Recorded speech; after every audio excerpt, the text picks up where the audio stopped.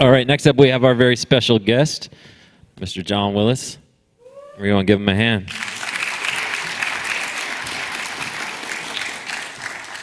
You can grab the mic from Dave.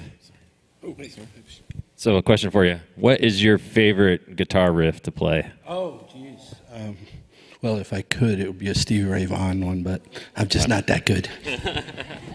All right.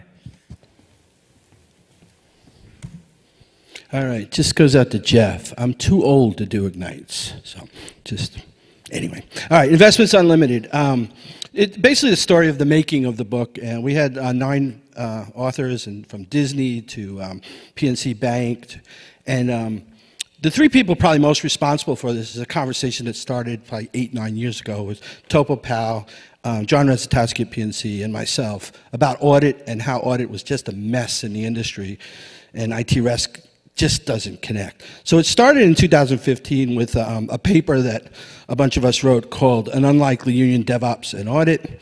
And then we wrote a tongue-in-cheek Dear Auditor. Is, these are all out there in Creative Commons. And in 2019, we wrote this sort of pivotal paper about how to do this. Um, the Dear Auditor was interesting in that um, it was sort of a tongue-in-cheek apology letter to auditors, but it actually has about 53 concrete risk controls that we would we decided we would sort of honor and make it better. And like I said, in 2019, we sat down and we tried to create a reference architecture. And the goal was to increase the efficacy of audit and reduce the toil, right? And, and do that through digitally signed immutable attestations, right? Um, and, and, that book has been useful. And so what we did is we sat down, and it was another group of just phenomenal people in the industry. We decided there were seven stages that you had to identify to do gating and, um, and sort of attestational evidence. And so we created a model in each stage. And these are some of the examples that were originally used. And the, the thing was, this was a holistic approach. It wasn't just about like um, you know um, dependencies and vulnerabilities in software, things like test coverage, change size, cyclomatic complexity, appearing on a pull request. In the build stage, things like linting, obviously SAST, but versions, your configuration, uh, again, I think one of the things in our industry is we get myopic on just sort of the, the vulnerabilities in software. But a bad configuration item can destroy your organization just as quick as a, um, a Struts 2 vulnerability. And then in a package stage, like image signing. In fact, the uh, SolarWinds was an example. I, I, I, spoke to the SolarWinds execs, and they had no, um, they weren't signing images. So they were producing artifacts that they couldn't even tell were uh, manipulated. And so in your prepaid uh, pod, I mean, sorry, pre-pod stage, you could, and, and, and production stage, sorry, um, prove configuration, threat monitoring. So the point is you can put all these things in. And the idea that we came up with uh, sort of in the second version is what if we could put a DSL, sort of a risk is code, everybody talks about policy as code, but a risk is code to get the auditors and IT risk on the same page as the developers. And um, so the story evolves as a book about an investment company, a 20 billion market cap, and um, basically they were doing really good at DevOps. And then they get, basically, which is an audit a failure, which is MRIA, and, and basically the CEO's like, I thought we were doing good at DevOps. And like, yeah, but not on security.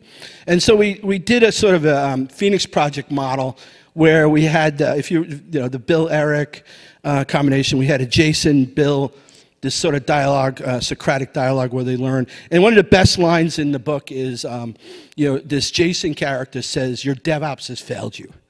And they're like, what do you mean by that? And then it starts this evolving concept about like, hey, they really weren't helping the orders. So they put a project together, the CEO gets everybody on the same page, and, and the first thing they do is they look, they have these MRAs, matters requiring uh, actions. And they had 15 outstanding, right, before they were going to get this MRIA.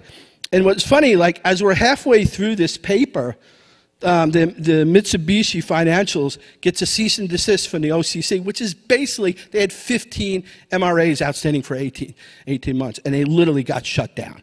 Right, so like fiction, uh, real life and fiction actually happens. So the, the moral of the story, if you read it, is it's they're learning how to sort of address these MRAs, like you know, enforcing peer reviews, identifying quality gates, removing elevated access, and then another part of it was interesting too, is it was trying to explain, as Jason explains, like, that you can live with the three lines of defense, but you just have to think about it differently. And, and I think a lot of people use the three lines of defense to sort of segregate the groups. And in the end of the story, like I think it's awesome, is they finally put this whole thing together. They put a software solution, and it's actually work based on a bank that built this. And they demo it to everybody, and everybody's like, "Big deal." And then they realize, okay, let's do one where it actually shows a failure. And and in the failure one, everybody's like, "Ah, I get it," you know. And uh, so it was the actual failure that sort of checksum in this case. That's like, "Oh, now I get why this thing could work. Anyway, that's a really short version of a book, but uh, but um, yeah, we'll be signing them later today, and um, and I hope you enjoy it. I think one last thing. I know I'm out of time, but I think this book is going to be the Phoenix Project for security. Right, and not because I wrote it or like anything. It's the book you're going to be able to hand to your boss, just like the Phoenix Project. Say, read this book instead of me trying to explain for weeks and months why we need to do this. Read this book and at that point, the, your leaders and managers will come back and say, I get it. So, anyway, thank you. All right. Thank you, John.